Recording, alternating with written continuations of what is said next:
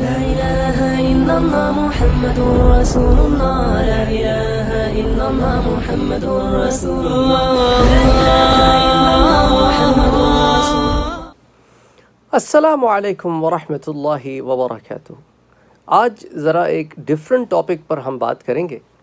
سوال لوگ پوچھتے ہیں کہ میں کالج میں پڑھتا ہوں، میں یونیورسٹی میں پڑھتا ہوں، میں ابھی گریجویٹ ہونے والا ہوں، یا ابھی میں کالج میں ہوں اور یونیورسٹی میں جانا چاہتا ہوں۔ آئی ٹی کی فیلڈ میں میں اپلائی کرنا چاہتا ہوں تو کون سے ایریاز ہیں جو آج کل ہاٹ ہیں جن میں مجھے دیکھنا چاہیے؟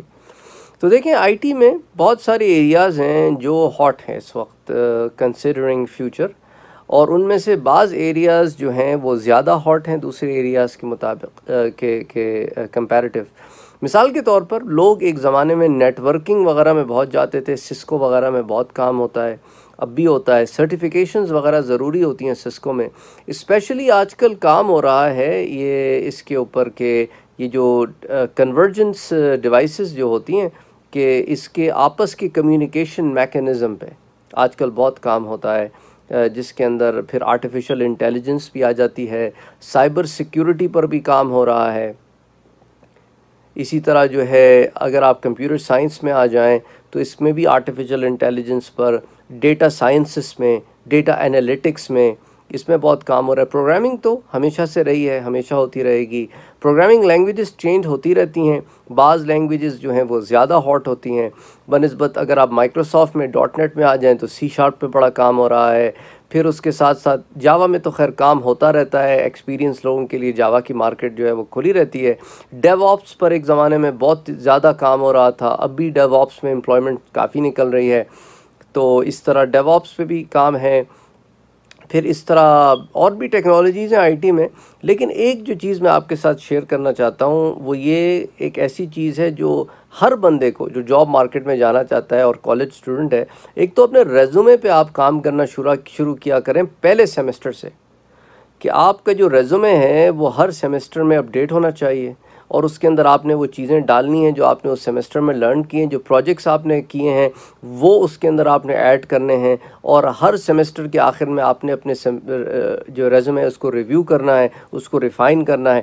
ساتھ ساتھ آپ یہ نیٹ ورکنگ بھی کریں، یہ جو لوگ آلریڈی انڈسٹری میں موجود ہیں، ان سے آپ رابطے میں رہیں۔ اگر کہیں انٹرنشپ اپرچونٹی نکلتی ہے تو وہ آپ ضرور پکڑیں۔ اس کے اندر کبھی کبھی جو ہے وہ تنخواہ کم ہوتی ہے یا کبھی والنٹری بھی ہوتا ہے۔ کوشش کریں کسی نہ کسی طرح اپنے ریزومے میں ایکسپیرینس بھی شامل کر سکتے ہیں۔ اپنے تعلیمی دور کے دوران تو ضرور اس پر کوشش کرنی چاہیے، محنت کرنی چاہیے۔ علاوہ ازیں اپنے ریزومے میں ان چیزوں کو جو آپ کی سکل سیٹس ہیں ان کو سامنے رکھیں فرنٹ پہ رکھیں۔ اچھا سافٹ سکلز بہت ضروری ہیں۔ بہت سارے امپلائرز جو ہیں وہ سافٹ سکلز کے اوپر بہت زیادہ ایمفیسس کرتے ہیں۔ کہ جس سے بھئی آپ کی کمیونیکیشن سکلز ہے، آپ ای میل لکھ سکتے ہیں، آپ میموز لکھ سکتے ہیں، آپ کسٹمر سروس آپ کی کیسی ہے، آپ ٹیم پلیئر ہیں کہ نہیں ہیں، آپ کو کبھی کانفلکٹ ہو جائے ٹیم میں تو آپ اس کو کیسے ریزالو کرتے ہیں؟ بہت سارے ایسے پوائنٹس ہیں جن کو ہم سافٹ سکلز کے اندر کنسیڈر کرتے ہیں۔ آپ اپنے فیلڈ کی ٹیکنیکلٹیز کے علاوہ اور کن ایکٹیویٹیز میں ہیں؟ آپ کی اور کیا اسکل سیٹس ہیں؟ بہت سارے لوگ ہیں جنہیں لکھنے کا شوق ہوتا ہے یا ہائکنگ کا شوق ہوتا ہے یا کوئی سپورٹس کھیلتے ہیں۔ اسی طرح جو ہے کچھ لوگ جو ہے وہ مختلف اور شعبہ جات میں ہوتے ہیں۔ تو بہرحال آپ کی جو دوسری سکلز ہیں، اس کے بھی متعلق جو ہے، ان کو ایک پتہ ہوتا ہے کہ یہ جو انوائرمنٹ ہے، ہماری جاب کا ایک کارپوریٹ کلچر ہے، اس میں جو لوگ آ رہے ہیں، وہ کس مائنڈ سیٹ کے ہیں۔ اور وہ یہاں ایڈجسٹ ہو بھی پائیں گے کہ نہیں، کیا پرسنالٹیز ہیں ان کی؟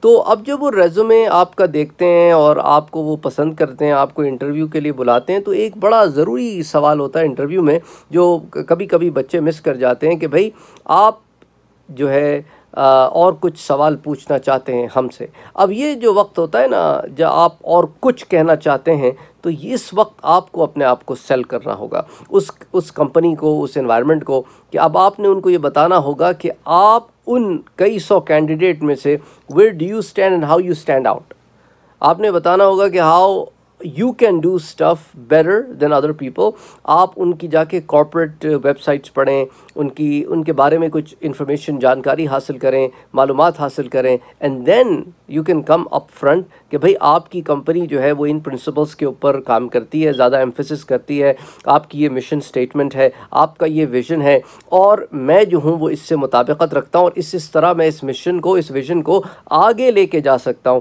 تو اگلے کئی سالوں میں I can be of great benefit to this organization I can be an asset to this organization and its growth اور یہ میرا مائنڈ سیٹ ہے، یہ میرا پوٹینشل ہے۔ اس طرح آپ اپنے آپ کو ان کے سامنے سیل کریں، بجائے اس کے کہ اس وقت آپ ان سے یہ پوچھنے بیٹھ جائیں کہ بھئی چھٹیاں کتنی ملے گی اور پیریزز کتنے آفٹر ملیں گے۔ یہ ان تمام چیزوں کے لیے ایک سمے ہوتا ہے، ایک وقت ہوتا ہے، ایک ٹائم ہوتا ہے۔